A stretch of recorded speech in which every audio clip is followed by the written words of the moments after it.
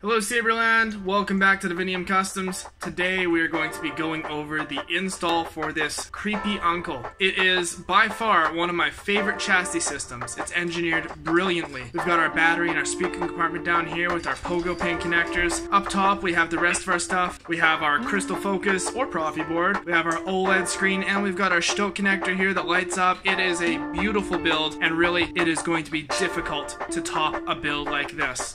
Now I do want to note that this tutorial is not going to go over how to install a lightsaber. The tutorial assumes you have a general understanding of soldering, wire routing, how to wire your soundboard, your accent LEDs, your OLED, stuff like that. We are just covering and teaching you how to install this specific chassis with the skills that you learn from other videos done by the Custom Saber Shop, Genesis Custom Sabers, so on and so forth. As always, don't forget to like and subscribe and hit that bell button to get notifications for our upcoming videos.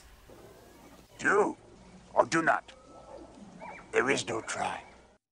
So here we're prepping our switch box. We're going to uh, bend the prongs gently, trim and bend, and insert them just to check the fit. Same with the switches. We want to make sure that our parts are fitting without any interference. Sometimes there will be printing residue in the form of a powder left over in these prints. So we want to make sure our components fit before we wire them. There is room up here to wire in your resistor, but there is also the potential to wire an SMD resistor on the soundboard if you're using a crystal focus. So here I'm prepping my switches. You'll notice I'm holding them in my helping hands at a distance approximately equal to the distance leaving the control box. This is because we're going to solder these leads together and uh, join them as one ground. Here you'll see I have them joined with a resistor leg. The leg is solid, whereas wire is flexible, so it really depends on how confident you are in your spacing. Here we go, we have our switches all wired up. You just want to check that your leads are strong and then insert them into the box and route the wires through the middle. Now if you've chosen to use a resistor leg to bridge your grounds, you can solder the wire anywhere onto that leg. If you're wiring them with a wire, then you just need to solder a second wire onto one of the legs and connect them that way. Now remember, the wires go through the middle, not either side. At this point, our standard procedure is going to be testing all our leads. We're going to check our continuity in our switches, and we're going to check whether or not our LEDs work. I now have this hooked up to my benchtop power supply. We're driving 3.3 volts at 18 milliamps. I'm going to turn on the output, and the green LED should light up. So this is why it's important to test your wires before you assemble everything. It turns out I wired my red LED backwards. The positive is on the negative and vice versa. So since we checked that, I know that, and I can fix this instead of tearing apart the entire build and wondering why my red LED isn't lighting up. Alright, we have our red LED connected, and you'll notice we have the box assembled and in a vise all clamped together to simulate the conditions it'll be in the hilt to make sure our screws or anything aren't shorting it. The switches are very easy to test. I just have my leads hooked up to my multimeter. I know the bottom switch is my auxiliary, so when I click it, I should hear a beep. That's how I know my switch is working. And we do the same thing with the main switch. Perfect, everything's working in the control box. Put your weapon! I mean you no harm! Alright, so now that we've got the control box handled, we're going to be installing from the bottom up, starting with the speaker. So the first thing we're going to do is check the fit of our speaker. I'm using a 28mm KR Saber Space speaker. This is the blackout edition. Uh, these are the ones that I, I personally recommend for builds. Uh, they're reliable and they sound amazing. Uh, it should be a little bit of a loose fit. Uh, generally, the snugger the fit, the better, but we don't want to be expanding this section here because the next thing we're going to check is if it fits in the pommel. It should be a very snug fit there. Perfect. So we want this to come out when we unscrew the pommel. So the snugger the fit, the better. We want to be able to get it off as well without damaging anything. So that's a perfect fit there. We're not going to have to sand this down at all. And uh, we know that because the speaker is a loose fit in here, it's not going to cause issues with the pommel fitment. So here I have the speaker wired, and the wires are routed through the channel below the battery. What we want to do now is apply a little bit of E6000 to the edges of the speaker, press it in place, and we're going to sit it on the speaker and leave it to glue. Uh, the E6000 has a cure time of 72 hours, but a set time of approximately 30 minutes, so after half an hour you'll be good to handle this, just don't be prying on the speaker. So we have our glue applied on the edges here, and uh, we're actually going to leave this glue on the edge, because once it's dried, we'll be able to peel it off in one strip. So you're going to press it firmly, and we're just going to set this to the side for a bit. Alright, now that our speaker is adhered in place, we're going to do our battery contacts. This one needs to be trimmed to the bottom. Yours will come with a little egg. You can just trim that off. It slides into place right back there. This one fits in here like so. More likely than not, you'll have to trim away some uh, print material in this little area as it tends to sort of fold over itself with some stringing here.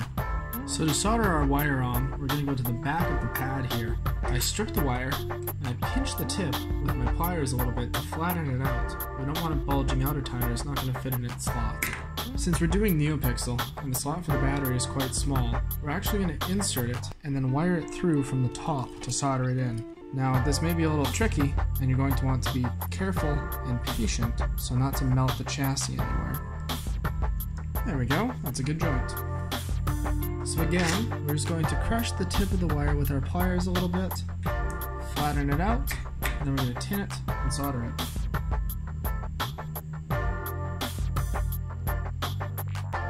Here we go, we have a dab of glue in the center. That'll spread out as we press down. And we're just going to press this into place, making sure our wires line up as needed in their channels. Now to help all of this glue, we're going to grab a battery. And we're just going to put the battery in here. And it'll hold everything in place. Once it's all wired up, your lower section should look like this. Impressive. Most impressive.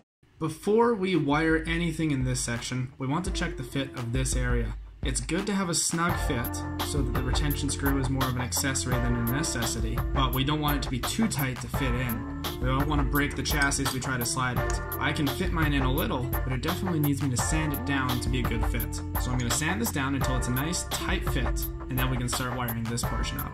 It is very important to go slow and be patient when working on sanding this part to fit. You can see I broke mine because I was a little impatient with the fit. I broke the chassis and now I have to order a new one and that's going to cost money and take time.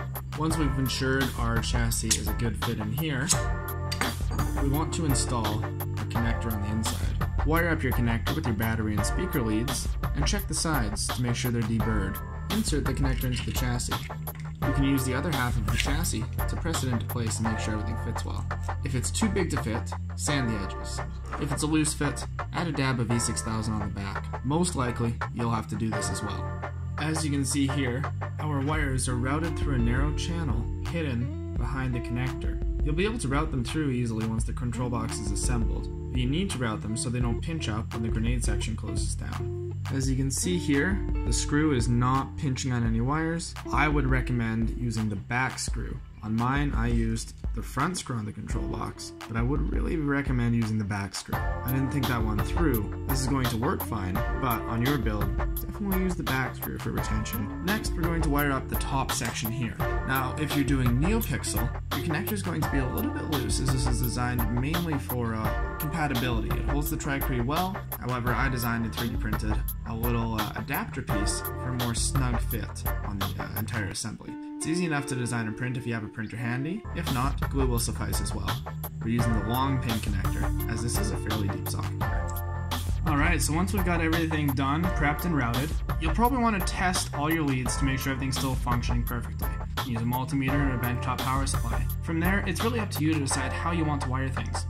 We've got our OLED on the bottom, we've got our crystal focus on the top, and you can decide where you route the wires and run them through. You can wire the board all on the top, you can try and wire it all on the bottom, I'm probably going to do a little bit of a combination of both for the cleanest and simplest wire routing. I want easy access to the USB and the SD card, but I also want to make sure that it looks clean and functions perfectly.